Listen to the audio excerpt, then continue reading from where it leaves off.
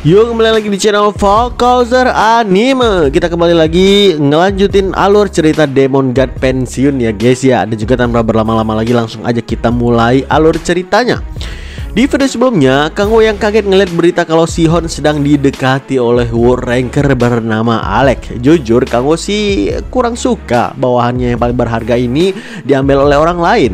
Selagi Kang Wo kesal karena Sihon sangat antusias juga kepada World Ranker tersebut, tiba-tiba Alex datang ke cafe yang mereka sedang ada di sana dan langsung disambut hangat oleh si Sihon.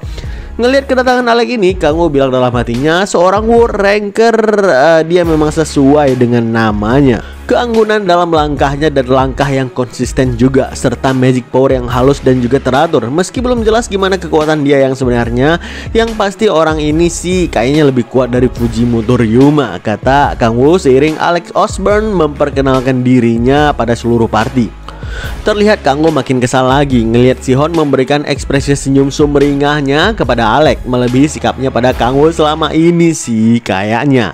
Si Alex pun seolah tebar pesona kepada Ah dan juga Eonbi. Kanggo yang gak suka ngelihat gelagat Alex ini langsung to the point nanya, "Udahlah, ngapain basa-basi lagi? Kau itu kan war ranker, ngapain kau jauh-jauh datang kemari? Apa alasanmu datang menemui Sihon sekarang?" Alex paham kalau Kanggo sangat berhati-hati dengannya, apalagi dia belum menyatakan menyatakan tujuan kedatangannya juga. Jadi wajar kalau Kang Wu waspada kepadanya ya, itu menurutnya. Makanya Alex pun nanya, Sihon, aku ingin nanya kepadamu tentang sesuatu. Apa kau tahu tentang identitas yang disebut dengan Guardian? Gak cuma Sihon, Kang Wu juga ikutan kaget mendengarkan pertanyaan tersebut. Seingat Kang Wo Sihon dulu pernah cerita kepadanya kalau Guardian adalah orang-orang yang terpilih untuk menangani kerusakan pada gaya sistem Sistem pertahanan yang melindungi bumi dari invasi dimensi lain. Akhirnya Sion pun menebak apakah Alex juga anggota dari Guardian tersebut. Yang kemudian uh, pertanyaan tersebut diiyakan juga oleh Alex. Dari ini Kang Wo jadi tahu kalau Guardian ternyata lebih dari satu. Kang Wo yang masih penasaran bilang Aku akan abaikan gimana kau bisa mendapatkan informasi kalau Sihon adalah seorang Guardian. Tapi aku ingin tahu apa alasanmu datang kemari menemui Sihon. Mendengarkan itu, Alec pun cerita kalau dia sebenarnya mau merekrut Sihon ke dalam grupnya yang bernama Guardians ini. Mungkin Guardians belum terkenal di seluruh dunia, tapi Alex yakin kalau Guardian lah harapan umat manusia. Alex menyatakan kalau Sihon bergabung dengan Guardian, Sihon gak akan pernah harus mengalami keputusasaan seperti di stasiun isu dulu. Cerita ini ngebuat si Hon terperanjak kaget. Kok bisa Alex tahu isi hatinya yang mengganjal selama ini? Alex pun ngelanjutin Aku ngelihat ekspresimu saat kau menebas monster di video stasiun isu Ekspresi kesakitan, gak berdaya, dan kesedihan. Aku paham semuanya Karena monster-monster itu dulunya adalah manusia yang gak berdosa. Tapi jika kau menjadi lebih kuat Kau bisa menyelamatkan mereka semua. Jika kau cukup kuat untuk mengalahkan mereka tanpa melukai Kau bisa melindungi mereka sampai kau menemukan cara untuk mengembalikan mereka seperti semula. Ucapan itu membuat Sihon heran Gimana caranya menundukkan para monster tanpa melukai. Alex menjelaskan kalau grup Guardian punya cara untuk meningkatkan kekuatan seorang Guardian itu sendiri. Persis seperti yang Alex alami sendiri. Berkat kekuatan tersebut Alex mampu menghentikan kultus demonik di Inggris sendirian ya itu menurutnya. Mendengarkan itu Kang Wo bilang dalam hati iya sih kalau seorang War Ranker bisa menghentikan kultus demonik sendirian Fujimoto nggak akan meminta bantuan player Korea. Lumayan juga sih kalau uh, Sihon bisa menjadi lebih kuat Akhirnya Alex memohon kepada Sion agar bergabung dengan grup Guardiansnya Karena menurutnya kalau Guardian membutuhkan orang seperti Sihon Permohonan ini ngebuat Sihon tegang berkeringat dingin. Dengan terbata-bata Sihon bilang Aku akan bergabung dengan Guardian. Tapi tiba-tiba Kanggo mengaktifkan Authority of Projection Yang membuatnya bisa mengintimidasi Sihon dengan jiwanya. Ya berhubung juga Sihon merupakan familiarnya. Kanggo juga mengaktifkan Authority of Subjugation Subjugation agar mengendalikan Sion, familiarnya ini. Gegara itu, Sion pun langsung berubah pikiran dan bilang, aku minta maaf, aku nggak bisa memutuskan itu sekarang. Mendengarkan itu, Alec nggak langsung menyerah. Dia bilang akan tinggal di Korea untuk sementara. Jadi jika-jika si Sion ini berubah pikiran, jangan ragu untuk menghubunginya nanti. Gak berselang lama, terlihat Alex yang baru aja keluar dari kafe sangat kecewa dan gak menyangka akan ditolak mentah-mentah oleh si Sion. Tapi dia tetap bertekad akan meyakinkannya nanti. Kanggo yang sengaja membuntuti Alex dari belakang mengakui kalau Alex orang yang cukup gigih juga. Dalam hatinya kamu bilang nggak masalah jika Sihon kagum kepada Alex ini, tapi dia nggak boleh mengadopsi ideologi absurdnya itu. Orang itu adalah pedang putih murni yang ingin selamatin semua orang. Untuk bertahan hidup dan menjadi lebih kuat, pedang Sihon perlu sedikit lebih kotor, nggak bersih kinclong seperti ideologinya. Gimana pun aku nggak boleh membiarkan mereka ketemu lagi. Tiba-tiba kamu tersentak kaget karena Alex berteriak, Hei siapa di sana? Kamu mengira Alex menyadari keberadaannya. Namun namun siapa sangka ternyata ada orang yang bertopeng merah yang udah pasti dia ini berasal dari kultus demonik dan dia pun langsung melompat di atas gedung sambil berteriak mati kau Alex Osborne. Orang itu mengerahkan cakar tajam di tangannya. Di saat yang sama juga Alex menghunuskan pedangnya dan terjadilah adu serangan hebat di antara mereka di sana. Si demonik pun bilang lagi, "Kau akan menerima balasan karena mengganggu rencana kami." Ucapan itu membuat Alex paham kalau orang yang menyerangnya ini adalah member kultus demonik dari dari Inggris. Sambil terus adu serangan, Alex pun nanya kenapa mereka nggak mau menyerah. Si Demon ingin jawab, Puh, Kali ini aku akan menghancurkan mulut sombongmu itu Kata si demonik sambil terus beradu Mekanik tingkat tinggi dengan Alex yang menciptakan suara melingking dan hempasan aura ke segala penjuru. Di sini kamu heran kenapa si demonik mengucapkan kata kali ini? Dalam hatinya kamu bilang Dari apa yang ku dengar berarti dia berasal dari kultus uh, demonik Eropa Cabang yang diserang sebulan yang lalu ya kayaknya. Dan sepertinya mereka udah diserang beberapa kali oleh grup guardian yang di sana. Ya pertarungan pertarungan ini akan berakhir dengan cepat. Perbedaan kekuatannya cukup besar sih kayaknya. Dugaan Kanggo memang tepat. Dalam waktu singkat Alex berhasil mengalahkan si Demonic dengan cukup parah sehingga uh, dia pun kini berlutut di hadapan Alex. Si Demonic meminta agar nyawanya segera dihabisi aja, tapi Alex menjawab, "Nggak akan. Setiap kehidupan itu kan berharga, bahkan hidupmu juga." Mendengarkan itu, mata Kanggo benar-benar terbuka dengan lebarnya. Dalam hati dia bilang, "Hah? Bajingan ini barusan bilang apa?" Apa? Sambil terus menodong pedangnya, Alek meminta agar lawannya ninggalin kultus demonik, bertobat atas semua dosanya, lalu hidup dengan cara yang baru. Tentu aja nasihat itu seperti omong kosong bagi si demonik. Mendengarkan itu, Kanggo juga bilang dalam hatinya, si kampret ini bukan orang gila kan? Apa dia beneran biarin kultus demonik kabur selama ini? Kali ini bukan tentang benar ataupun salah. Yang dia lakukan ibarat membiarkan pembunuh berantai bebas dan bilang pada mereka untuk bertobat dan memulai hidup baru. Jelas itu tindakan paling bodoh yang bisa dilakukan seseorang. Tiba-tiba si demonic human ini ngeluarin uh, bom asap yang ngebuat Alex tersentak kaget. Sambil kabur secepat mungkin si demonic bilang, "Tunggu aja kau Alex, aku akan membalaskan penghinaan ini suatu hari nanti." Namun tiba-tiba Alex langsung menyuruhnya berhenti karena ngelihat ada seseorang wanita yang berada di jalur kabur si demonic itu. Mendengarkan itu demonic bilang, "Kau kira aku akan berhenti kalau kau menyuruhku? Hah, bajingan naif." Awas di depanmu, kata Alex yang membuat si demonik ngelirik ke depan. Barulah dia kaget kalau ada seseorang yang lewat di jalur kaburnya. Tanpa ragu si demonik langsung menghajar wanita tersebut dengan sangat kuat hingga perempuan itu terhempas dengan begitu dahsyatnya membentur dinding dengan sangat keras. Si demonik kesal ada yang mengganggu jalan kaburnya dan dia pun lanjut kabur secepat mungkin dari sana. Sementara itu Alex bergetar hebat seiring dia berjalan mendekati perempuan yang kini tewas bersimbah darah di sana. Dengan rasa sedih yang dicampur amarah, Alex memegang wanita itu dan berteriak, "Ah, kenapa? Kenapa ini bisa terjadi? Kenapa ini bisa terjadi?" Namun tiba-tiba Alex yang berlinang air mata tersentak kaget karena ada seseorang yang bilang, "Omong kosong macam apa ini?" Ya itu adalah suara Kanggo yang kini menghampiri Alek. Kanggo bilang, kenapa kau nggak membunuh anggota kultus demonik itu setelah kau mengalahkannya? Jika kau menghabisinya tadi, perempuan ini nggak akan mati. Jelas semua ini adalah salahmu. Seolah kau sendirilah yang membunuhnya. Tapi Alex masih aja bersikeras pada prinsipnya kalau semua kehidupan itu berharga, termasuk uh, kehidupan dari anggota kultus demonik sekalipun.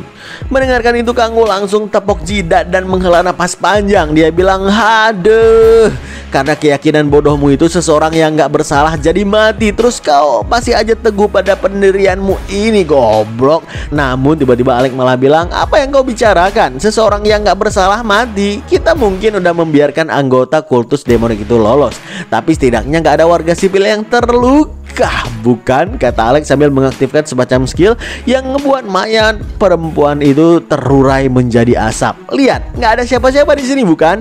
Kata Alex dengan raut wajah gilanya. Dia menolak kematian perempuan itu karena kesalahannya. Ngelihat itu Kang Wu tersenyum dengan lebarnya dan dia bilang dalam hati, "Aku tahu bajingan ini gila, tapi gak kusangka ternyata separah ini." Dari wajah gilanya tadi tiba-tiba Alex kembali berubah menjadi sok polos dan bilang kalau dia menyesal kehilangan kehilangan jejak kultus demonik seolah wanita yang mati tadi di depan mereka ini nggak pernah terjadi. Alex bilang karena dia udah kehilangan jejak dari kultus demoniknya tadi, jadi nggak ada artinya lagi untuk dia menetap di Korea. Namun kamu mengingatkan bukankah Alex sebenarnya masih pengen merekrut Sihon? Alex tersenyum mengiyakan dia pengen Sihon terus berkembang agar uh, menjalani takdirnya untuk menyelamatkan banyak nyawa. Dan setelahnya dia pun pamit dari Kanggo sambil memintanya agar Sion diyakinkan lagi untuk bergabung dengan grup Guardians mereka. Mendengarkan itu Kanggo bilang dalam hati ditakdirkan menyelamatkan banyak nyawa ya. Halah, omong kosong si kampret itu cuma pengen membentuk Sion menjadi orang gila seperti dia. Tapi tadi aku berhasil menolak paksa Sihon dengan autoritiku. Tapi selama Sihon kagum pada Alek. Aku gak bisa menghentikan mereka bekerja sama. Atau jangan-jangan ini bisa jadi peluang bagus juga. Dia bilang Sihon perlu berkembang lebih jauh bukan? ya ini bisa berhasil Ide itu biar aku bantu Kata Kang Wo sambil mengaktifkan Authority of Projectionnya Untuk membuntuti ke mana pun Alek pergi Malam pun tiba, terlihat Alek merenung di kamar hotelnya. Dia masih aja teringat kritikan Kang Wo yang bilang kalau dia harusnya ngebunuh anggota kultus demonik yang tadi siang itu. Alek menganggap Kang Wo memang sulit memahami prinsipnya karena Kang Wo bukan seorang guardian. Jadi wajar kalau Kang Wo nggak ngerti keyakinan kuat untuk menyelamatkan semua nyawa. Ya analisanya Alek. Saat Alek mengumpulkan semangat dan yakin kalau Kang Wo akan paham dengan prinsipnya suatu hari nanti, tiba-tiba dia tersentak kaget karena mendengarkan suara teriak teriakan perempuan dari luar hotel. Alex buru-buru menghadap jendela dan ketika perempuan tadi teriak lagi minta tolong, Alex tahu kalau perempuan itu ada di atas atap. Alex pun buru-buru naik ke atas atap dan berteriak, "Berhenti di sana!" kata Alex sambil berharap agar jangan ada perempuan lain yang tewas hari ini. Siapa sangka Alex lagi-lagi berjumpa dengan sosok topeng demonik dan dia berteriak, "Hei, siapa kau?" Si pria bertopeng itu pun tertawa dan bilang, Hahaha, aku udah menduga kau akan muncul Sword of Justice.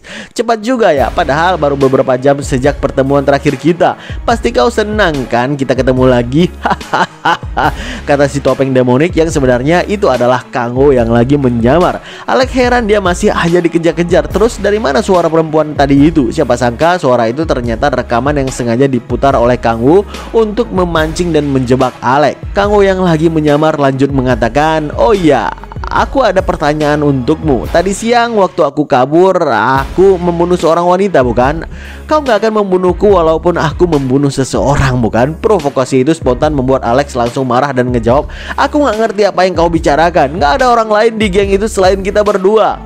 Mendengarkan pernyataan konyol tersebut, Kang Wu pun tertawa terbahak-bahak dan bilang, "Hahaha."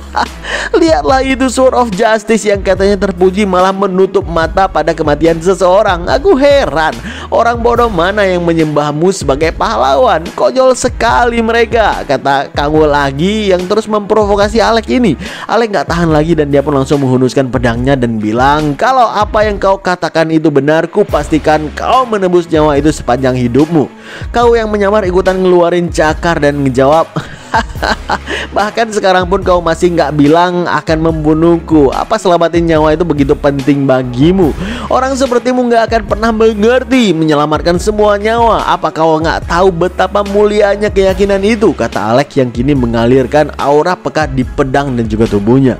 Keyakinan pantat mula. Berhenti ngebacot dan lawan aku sekarang dasar pahlawan naif. Kata Kang Wo yang ngebuat Alex nggak segan-segan lagi menerjang ke depan sekuat tenaga. Secara sengaja Kang Wu menunjukkan lehernya sendiri agar Alek memberikan serangan fatal ke arah lehernya. Tapi prinsip naifnya lagi-lagi menguatkan hatinya. Makanya Alek susah payah mengubah jalur pedangnya agar gak terkena Kang Wu yang sedang menyamar tersebut. Sialnya mengubah jalur pedang tersebut membuat tangan kanan Alek terkilir dan kesakitan. Dengan kesal Alek berteriak, Hei gerakan konyol apa itu barusan? Kamu ngejawab, Aku tahu kau akan melakukan hal seperti ini. Yang melakukan gerakan konyol justru kau sialan Kata Kang Wu sambil mengalirkan aura pekat di tangan kanannya Dan menghajar ulu hati Alex sekuat tenaga hingga dia terhempas jauh ke belakang. Selagi terhempas itu Alex pun benar-benar kaget ngelihat lawannya mengerahkan beberapa bola api yang cukup panas kepadanya. Begitu Alex membentur dinding yang cukup keras Ledakan api pun terjadi dan membuat damage-nya naik berlipat ganda. Untungnya sebagai World Rank Alek bukan orang yang gampang kalah Tapi yang membuat Alek heran Sejak kapan lawannya punya kekuatan seperti ini? Dalam hatinya dia bilang Bukankah dia adalah anggota kultus demonik yang sama yang aku lihat tadi siang? Dan dia menjadi sekuat ini dalam waktu yang kurang dari sehari. Itu nggak mungkin. Tiba-tiba Kang Wo melompat dan melesat ke depan tepat ke arah Alek Sambil mengayunkan senjata barunya. Alek sadar lawannya ini sangat kuat Makanya dia menebaskan pedangnya sekuat tenaga Agar bisa menjatuhkan senjata lawannya. Tapi tiba-tiba tiba-tiba dia lagi-lagi terasa kaget karena senjata lawannya tiba-tiba menghilang dan tentu aja kalau tebasan Alex diteruskan pasti akan membelah tubuh lawannya. Makanya dengan susah payah lagi-lagi Alex mengubah jalur serangannya yang membuat lengan kanannya makin kesakitan. Di saat itulah Kanggo mengerahkan uh, tinju kiri yang dilapisi aura sambil bilang Hah, kau ini lagi ngapain sih? Apa ini cuma lelucon bagimu? Hah, kata Kang sambil menghajar wajah Alek dengan begitu kuat dan dia pun jatuh tersungkur ke lantai kesakitan parah. Alek memegang wajahnya sendiri dan bilang dalam hati Sial, sial, dia sangat kuat Rasa-rasanya dia seperti orang yang benar-benar berbeda dari sebelumnya Hah? Tunggu, tunggu orang yang berbeda. Hanya ada satu cara yang ngebuat anggota kultus demonik tiba-tiba menjadi sekuat ini. Alek pun mencoba bangkit dari lantai. Dengan mata yang terbuka lebar, dia bilang dengan lantang, Jangan-jangan kau seorang demon. Beberapa detik kemudian, pertarungan kembali dilanjutkan. Kali ini Alek meningkatkan intensitas serangannya dan benar-benar menyerang tanpa mengubah jalur serangan lagi. Sambil terus menyerang dengan membabi buta, Alex pun berteriak, Hei demon, menyerahlah sekarang juga. Kang yang bertahan dari gempuran serangan itu cuma bisa heran dan bilang dalam hati dia tahu kalau aku ini demon. Tapi dia bahkan belum juga menggunakan kekuatan yang mematikan. Apa dia masih juga berpikir untuk membuatku tobat gitu? Udah kuduga bajingan ini gak cocok menjadi guardian Kata Kang Wu yang udah bosan ngelihat kenaifan Alek ini BTW gimana ceritanya Kang Wu dapat topeng demonic human ini Oke kita mundur sejenak sewaktu si demonic berhasil kabur dari Alek pada sore hari sebelumnya Baru aja dia mau memulihkan diri tiba-tiba dia dikagetkan dengan pintu tempat persembunyiannya dijebol oleh seseorang. Si demonik mengira yang menjebol itu adalah Alek, padahal itu adalah Kanggo sendiri yang sama sekali dia nggak kenal. Si demonik menebak kalau yang mendatanginya ini rekan Alek dari grup Guardian. Tapi Kanggo ngejawab, "Hah, aku Guardian, jangan salah, Bung. Kau tahu tentang grup Guardian ya? Bagus, aku punya beberapa pertanyaan untukmu." Si demonik nggak mau memberitahu gitu aja, makanya Kanggo tanpa ragu mengubah cincinnya menjadi sarung tinju Authority of Seal Lalu dia pun melesat dengan Authority of Speed sambil meninju ulu hati si demonik ini sekuat tenaga. Hingga dia muntah-muntah darah dan topengnya terlepas dari wajahnya. Udah terkena serangan fatal Si demonik masih aja tersenyum lebar karena mengira lawannya masuk ke dalam jangkauan serangan cakarnya. Dan baru aja dia mencoba mengangkatkan tangan tiba-tiba dia kehilangan demonik energinya yang membuat cakarnya hilang seketika. Yaitulah fungsi sarung tangan Authority of Seal menyerap demonik energi dari apa pun yang disentuh. Ngelihat si demonik mulai lemas Kang Wo pun nanya Jadi udah mau bicara sekarang Hmm, jangan mimpi. Hal seperti itu akan membuatku buka mulut. Baru aja si demonik itu bilang kalimat tersebut, kali ini mulutnya yang terkena boge mentah dari Kangwu. Sambil mengaktifkan Authority of Subordination, Kangwu bilang, "Hah, kata siapa kau perlu bicara?" Uniknya, si demonik ini ternyata bisa menolak subordinary dari Kangwu. Makanya untuk menyiksanya menjadi lebih parah si Kang mengaktifkan Authority of Hellfire ke dalam mulutnya yang ngebuat organ dalam si demonik ini terbakar cukup hebat. Dia cuma bisa meneteskan air mata tanpa bisa berteriak sedikit pun. Barulah kemudian Kang mencabut paksa tinjunya dari mulut si kawan itu yang ngebuat darah segar langsung menyembur dari mulutnya termasuk banyak giginya yang copot sekaligus.